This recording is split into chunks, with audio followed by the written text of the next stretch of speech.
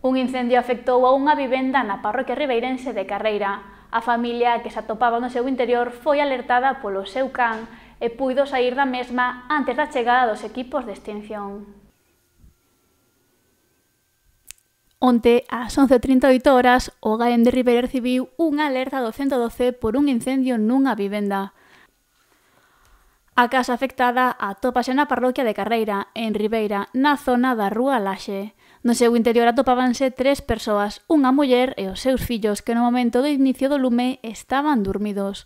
Foi o seu can quen lles alertou da presenza de lapas na casa e o que os espertou. Cando comezaron a chegar os servizos de emerxencias, a familia xa abandonara a vivenda, polo que tiveron que entrar a rescatar ao can que se quedara atrapado na primeira planta e comezaron tamén a extinguir o lume.